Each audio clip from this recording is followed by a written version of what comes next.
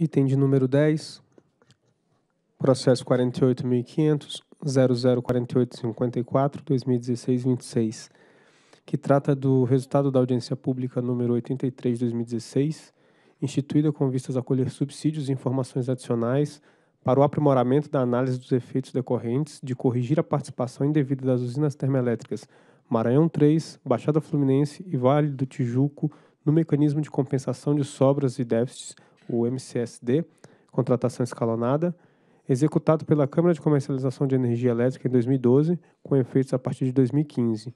Relator, diretor André Peptoni da Nóbrega. A Superintendência de Regulação Econômica, SRM, na nota técnica 108 de 2015, registrou que a UTE Paranapanema não poderia ter sido incluída no MCSD, contratação escalonada, executado pela CCE em 2012, com efeitos a partir de 2015.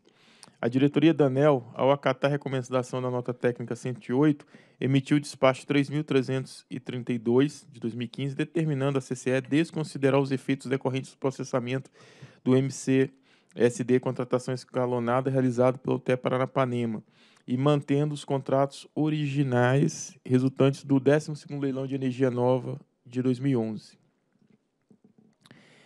A SRM, após identificar casos análogos ao da UTE Paranapanema, elaborou a nota técnica 206 de 2016, concluindo que as usinas termoelétricas Maranhão 3, Baixada Fluminense e Vale do Tijuco 2 também não atenderam aos critérios de participação do processamento do MCSD contratação escalonada.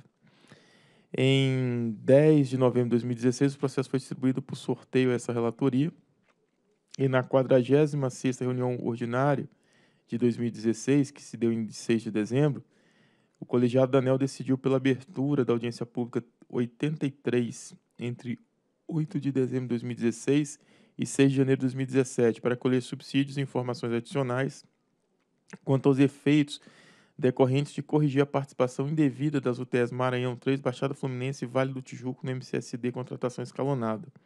A SRM elaborou a nota técnica 106 de 29 de junho com a análise das contribuições recebidas na audiência pública, na qual concluiu por manter o entendimento e a recomendação apresentada na nota técnica 206 de 2016 de declarar válidos o MCSD de contratação escalonada executado pela CCE para as três UTS é o relatório. Pro... O Procuradoria já se manifestou, então passamos à fundamentação. A SRM analisou as contribuições dos agentes Energia do Brasil, CPFL, Neoenergia Energia e Secretaria de Acompanhamento Econômico do Ministério da Fazenda, SEAI. A síntese do resultado da análise está demonstrada na tabela 1. Então, a contribuição da EDP fez três contribuições, uma não aceita, uma não foi aproveitada e uma já prevista. O grupo CPFL fez duas contribuições não aproveitada e já prevista. A Neo Energia teve uma contribuição não aproveitada e uma não aceita e a CEAI teve uma não aproveitada. Do total, então, nós tivemos duas contribuições não aceitas, quatro não, não aproveitadas e duas já previstas de oito contribuições. A diferença aqui do não aceito e não aproveitado é que não aceita é atinente à audiência pública e não foi acatada. A não aproveitada é que não diz respeito à audiência pública, então não, não cabe se debater naquele fórum. A segundo a SRM, a EDP concordou com a recomendação de declarar o MCSD válido, ao ponderar que desconsiderar os efeitos do MCSD contratação escalonada desde janeiro de 2015 traria consequências negativas para o gerenciamento da cobertura contratual das distribuidoras. O agente alertou que o expressivo reprocessamento decorrente dessa decisão causaria impactos significativos e involuntários em termos energéticos, cuja responsabilidade não deveria recair sobre os agentes compradores. Contudo, entendeu que não houve equívoco no processamento do mecanismo. A superintendência explicou que a declaração dos montantes de energia diferenciada para o primeiro e os demais anos do CCAR não dava às usinas o direito de participar do mecanismo. Tampouco implicava obrigação de realizar o MCSD escalonado cujos critérios para processamento não foram atendidos. A EDP discutiu os casos das usinas de Giral e Santo Antônio, que ofereceram volumes incrementais de energia nos anos posteriores ao do leilão e propôs a adequação da regulamentação em benefício da motilidade tarifária. A SRM esclareceu que o caso dos leilões estruturantes consistia em situação distinta dadas as UTS avaliadas e que a alteração das regras não estava no escopo da audiência 83 de 2016. A concessionária também sugeriu que, caso se decidisse por desconsiderar o processamento do MCSD, os impactos decorrentes fossem considerados involuntários, principalmente quanto à sobrecontratação das distribuidoras. A SRM argumentou que essa decisão impactaria o consumidor cativo, reforçando o argumento para manter os efeitos do mecanismo. O grupo CPFL apresentou o mesmo ponto de vista da EDP indicando que a exclusão do mecanismo retroativamente poderia prejudicar ou beneficiar indevidamente algumas distribuidoras e seus consumidores. Em consonância com a proposta SRM, o grupo se manifestou contrário à exclusão do mecanismo de MCSD, contratação escalonada para as usinas Maranhão 3, Vale do Tijuco 2 e Baixada Fluminense. Propôs que, caso ocorresse a correção da participação indevida desses empreendimentos, que os efeitos fossem considerados nulos na forma de sobras ou disposições involuntárias. A Neo Energia propôs que as UTS Vale do Tijuco 2, Maranhão 3 e Baixada Fluminense recebessem tratamento análogo ao da UTE Paranapanema, ou seja, fossem desconsiderados os efeitos decorrentes do MCSD.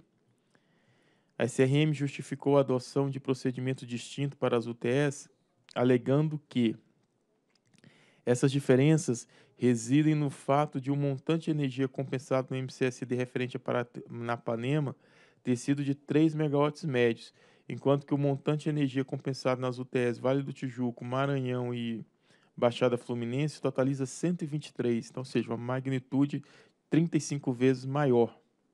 E diante disso, o impacto das distribuidoras seria muito maior, além de que o período de retroação seria muito mais extenso, de janeiro de 2015 até a data de uma eventual decisão de desconsideração dos efeitos do MCSD escalonado fosse tomado.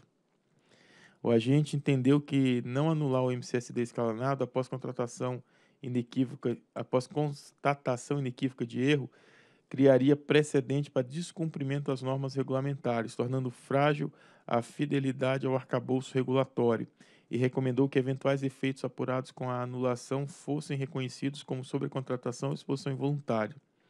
Em resposta à contribuição, a superintendência sustentou que recomendara a instauração de processo de fiscalização para fortalecer o arcabouço regulatório e prevenir que erros similares fossem cometidos no futuro. A CEAI, do Ministério da Fazenda, manifestou o entendimento de que conceder tratamento diferenciado poderia afetar a credibilidade da agência reguladora, provocar a judicialização da matéria, aumentar a incerteza e enfraquecer o marco regulatório. Questionou a possibilidade de desconsiderar os efeitos do MCSD contratação escalonada, criando mecanismo para diluir os efeitos financeiros ao longo do tempo e amortecer os impactos das distribuidoras envolvidas, mantendo-se a isonomia regulatória entre os agentes.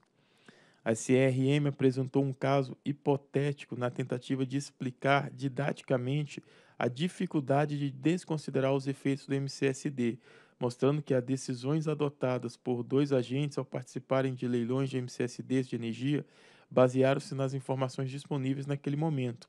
A superintendência comprovou que essas decisões certamente seriam diferentes caso as três UTS tivessem sido impedidas de participar do mecanismo do MCSD contratação escalonada.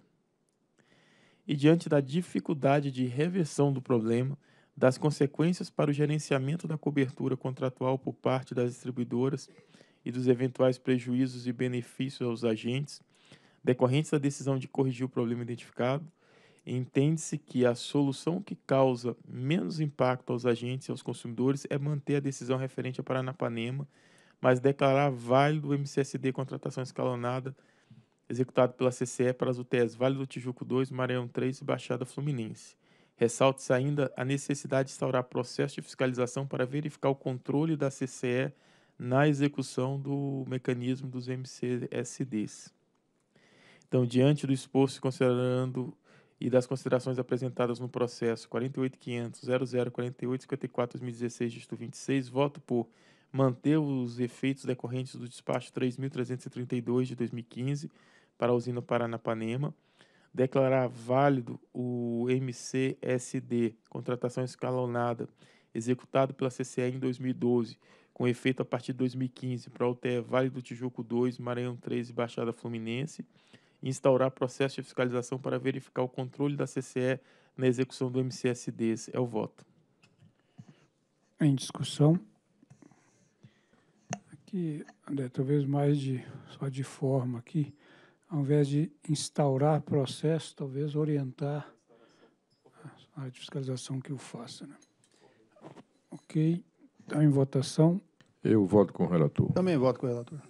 Também voto com o relator. Proclamo, então, que a diretoria decidiu por manter os efeitos decorrentes do despacho 3.332, de 29 de setembro de 2015, para a usina termoelétrica TE Paranapanema, declarar válido o mecanismo de compensação de sobras e déficit, MCSD, é, com tratação escalonada executada pela CCEE em 2012, com efeito a partir de 2015, para os UTEs Vale do Tijuco 2, Maranhão 3 e Baixada Fluminense, e determinar a área de fiscalização que estua processo de fiscalização para verificar o controle da CCE na execução dos MCSDs. E podia pontuar, Romeu, determinar a SFF, né? É para ser mais direto, né? É. Então, determinar a SFF, né, que proceda à abertura de um processo de fiscalização com vista a fazer essa apuração, a SFF. E, próximo item.